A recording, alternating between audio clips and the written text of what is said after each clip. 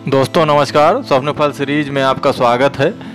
दोस्तों, live line astro channel के माध्यम से स्वप्न फल सीरीज़ में आपको हर बार एक नए सपने के बारे में जानकारी दी जाती है। अगर आपको पसंद आती है दोस्तों तो कृपया सब्सक्राइब ज़रूर कर दें चैनल को और हमारे चैनल से जुड़ जाएँ। दोस्तों, आज बात करेंगे एक ऐसे सपने की जो बड़ा विचित्र सपना है। सपने में चोर को देखना। चोरी करते हुए देखना, या चोरी हो जाना, या फिर खुद को चोरी करते हुए देखना। अगर ऐसा सपना आप देख रहे हैं तो इसका क्या मतलब होगा? जैसा आपको पता है कि ज्योतिष शास्त्र की शाखा समुद्र शास्त्र में सपनों के बारे में विस्तृत से बताया गया है।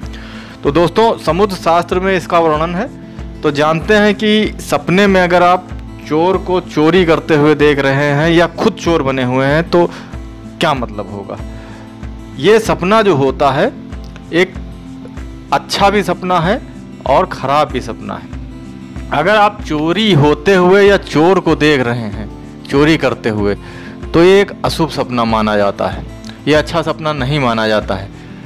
और अगर आप खुद को चोरी करते हुए देख रहे हैं, खुद चोर बने हुए हैं सपने में और चोरी कर रहे हैं तो ये शुभ सपना होता है। बहुत ही अच्छा सपना होता है इसका मतलब बिल्कुल बदल जाता है।